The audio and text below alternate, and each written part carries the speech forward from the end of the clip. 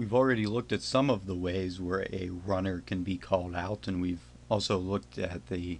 different ways, all the different ways that a batter can be uh, either put out or called out automatically for something he might do. And so in this video or over the next two videos, I want to look at kind of those rare plays where a, a runner can be called out that we haven't looked at yet. So the, the first way that I want to look at is that after touching first base, and so we should say here these are the runner is out when. And and so certainly there there are more. This isn't all of them. Like I said, We've we've looked at a few in other videos, and this is just kind of the uh, to, to, to fill in the rest of the gaps. So the runner is out when, after touching first base, he leaves the baseline, obviously attempting or obviously abandoning his effort to touch the next base. So after touching first base, he leaves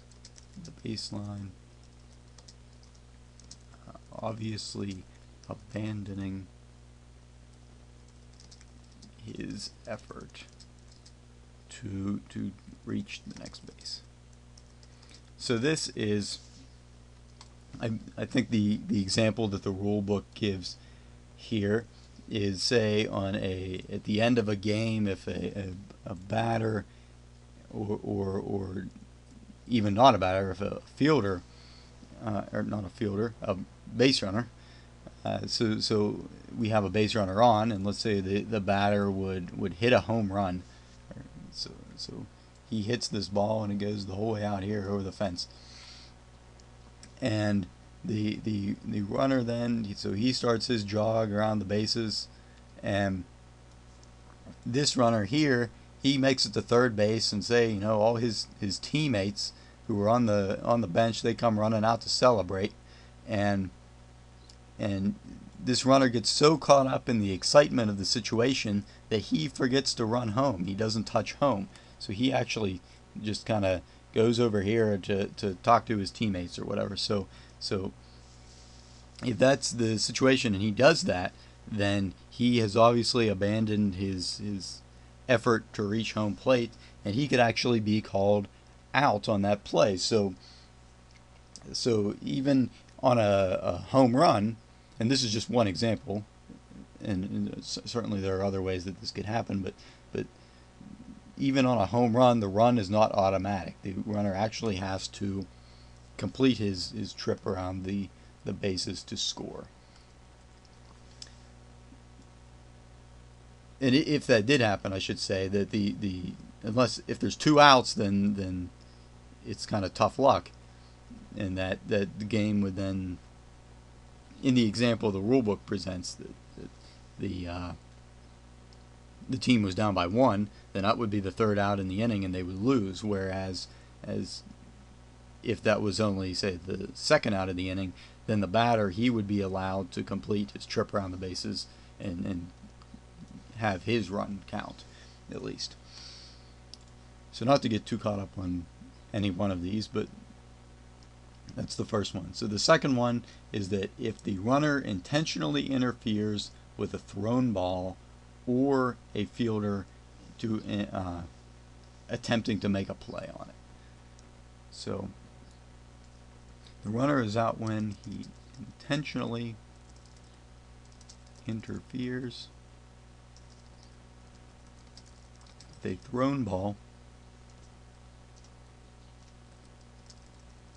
or hinders a fielder attempting to make a play on a batted ball. So this is something we looked at in the video about running out of the baseline, and that is whenever we have a, a, a ball hit, say we have a, second baseman here, if he charges up and the, the ball is hit to the second baseman and we have a, a runner running from first to second base, the runner here, this runner has is basically he has no right to, to the baseline. He has to let the fielder uh, make the play. So so in this situation, he is permitted as long as the fielder doesn't attempt to make a play on him specifically, he can he can still he can run around him and and reach reach the next base. But if as soon as this this runner either hits him or hits the ball, hits the fielder or hits the ball, then he is out. The third way that we can look at is that if the base runner fails to retouch his base after a fair or foul ball is caught before him or the base is tagged by a fielder. And so this is um, something that would happen when we, we have a situation where a a batter would, would either be tagging up and he leaves early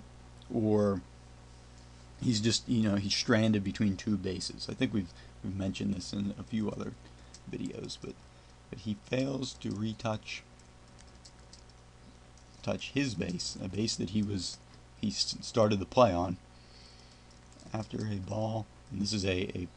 fair or foul fly ball. You can tag up on on either one. It's legally caught before he or the base is tagged by fielder. And so this one and one other quick note they make here is that this is an appeal play, which is we'll look at um, in a later video. We'll really get into what an appeal play is, but basically the defense has to get the ball and and and it's basically this isn't this is saying that it's not an automatic out. So if the defense doesn't catch it and and point it out to the umpire, so if we have a a batter or a runner here on third base, if he if he uh, is attempting to tag up, say we have a fly ball hit to the outfield, and he leaves the base early, then then or, or if he leaves the base before the ball is caught, then then the defense could could do what is called an appeal, and and they would then uh, touch the base, uh, and so then the, the the umpire would say yes he left early and, and he's out or or no he didn't, and so so again we'll look at appeals in more detail later on. But but basically what this rule is saying is that if the defensive team does not appeal, even if that runner left early, then he would be safe. He so the, the the importance of this appeal is that the, the defense specifically has to bring it to the attention of the umpire in order for him for the, the, the runner to be called out. So the final way we can look at this this video is the runner is out when he attempts to score on a play in which the batter interferes uh, with the the uh, play at home plate. So, so the runner is out when he attempts to score a play in which the batter interferes with the play at home plate. And and so so the rule says that this is is before two outs, and it also goes on to say that if there are two outs, then the the the batter is out is called out rather than the fielder, and the run does not count. So so so if there, it's before two outs, we call the runner out, and the batter uh,